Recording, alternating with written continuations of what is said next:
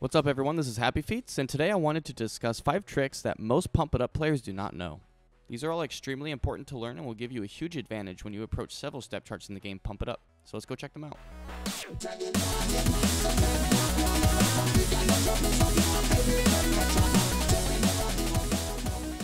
Number 1. Timing Window. Pump It Up has always been memed on over the years because of how wide the timing window is. But these type of comments come from players that can't even full combo D21 or hardly even play at all. But move past the memes and you'll actually find something very interesting about Pump's timing window, and that is the fact that the game is more biased towards a delayed hit versus an early hit. This means that if you slightly delay hitting the notes once they are perfectly aligned with the receptors up top, you are more likely to get perfects versus hitting just before they align with the receptors. This is very crucial to know because as you reach higher levels, many step charts have areas where you should be delaying your hits to be more accurate, usually the ones that have delayed brackets in them, like Lucid or Windmill D23.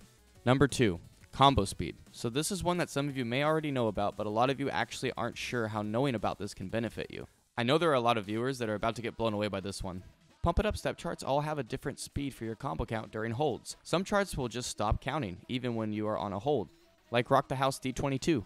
Why does this matter? Because the speed of the combo determines whether you can lift your foot off the arrow or not. Take a look at Mad Science, for example, S20. Notice anything? The combo is counting only during each individual note, never in between. This means that you can actually lift your feet off the center panel for a moment, and as long as you are on it during each arrow hit, you are safe. This basically means you can avoid that awkward tippy toes strategy and just bracket these notes instead. One last example for this trick is Final Audition Episode 1 D23. There is a section near the end of the chart where a lot of players break combo. Let's slow it down and pay attention to the combo speed again here. Do you see how it is only counting during each note rather than consistently counting at a steady speed even when there are holds going on? That means you can lift your feet up again here and because of the speed this part counts at, you can treat this entire section as quad hits at an 8th note rhythm, so it sounds something like this.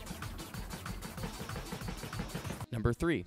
Cheating crossovers to conserve energy. First I want to make something clear since it was brought to my attention. Cheating is just a way to word this method, but others have many different ways to describe it, like double stepping. Call it whatever you'd like, but it is very important to learn this technique. Now, it will take you quite some time to master this on the higher level stuff, but for those of you that are wondering when you are ready to start cheating certain patterns, it should be after you've learned how to properly do majority of crossovers. As you reach around level 18 or so, there are plenty of sections in step charts you can skip crossovers on to conserve your energy for the tougher areas. How can you cheat the patterns? That is for another video in the near future, but I will show you one chart right now. BS Power Explosion S21 is a great chart to start practice cheating, aka double stepping. You'll probably notice how it repeats the red, yellow, red multiple times during the course of the song. You can cheat this pattern just by simply using one foot to hit one red note and then follow up with the opposite foot hitting the other two notes as a bracket. It's a great way to conserve energy because over time, doing these crossovers over and over again will drain you eventually. This is a technique you need to start practicing once you are getting around level 20 difficulty range in the game. Number 4. Bracket foot switching. So I think before we jump into this one, I need to actually explain what a foot switch is. I skipped this term in my PIU terminology video because of the fact that there aren't a lot of charts that have them. Foot switching is when you alternate your feet on the same note rather than doing jacks, which are when you use the same foot multiple times on the same note. These look no different than jacks visually, but as you get better and move up in higher levels, you'll be able to identify them pretty easily. So what is a bracket foot switch? This is a technique only a few people currently use, including myself, but it is when you are performing a foot switch on drills.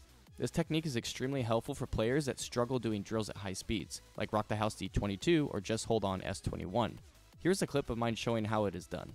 You can see that I am treating two separate notes as a single hit, and then I will switch over to my other foot and repeat this over and over again. When you do this technique, keep in mind that because you are now hitting two notes simultaneously, the rhythm is now being cut down to half the speed. So instead of doing 30 second notes at 175 BPM, you are now doing 16th notes, which is much easier. The biggest thing to pay attention to while doing this technique is to make sure you are lifting your foot off the panels after each hit because you will get misses if you don't. Number 5. Note then hold.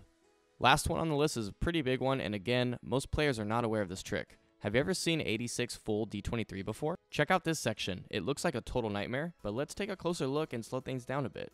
Do you notice how there's an arrow followed up with a hold right after? You only need to hit the arrow and not the holds. This is because Pump It Up does not require the player to ever tap the start of a hold note. As long as you are standing on that panel before it reaches the top, you are safe. With the exception of some charts that sneak in a note just above a hold, that is literally the only exception to this rule. For 86, this isn't the case. What I would like for you to do right now is follow the chart with your hands on a desk and imagine that the holds weren't even in the step chart at all. This entire section is full of double steps, so keep that in mind while following the chart. Do you notice anything? If you follow along correctly, you will be in the correct spot to have the hold notes occupied with your feet. Try it one more time, but now add the holds into it visually and continue to play like you did before. This is probably one of the most crucial charts to show how important this trick is because doing the jumps in this section at this BPM with those holds would be a total nightmare. You will save so much energy doing this and once you get the muscle memory down, it will be much easier for you. There's also other charts that have this trick like Goodnight D24 and even lower end ones like Moonlight Dance S17. That's all for today. If you liked the video, be sure to like and subscribe. If you're interested in rhythm games, be sure to follow me on Twitch. The link to that is in the description. Thanks so much for watching and I'll see you all next time.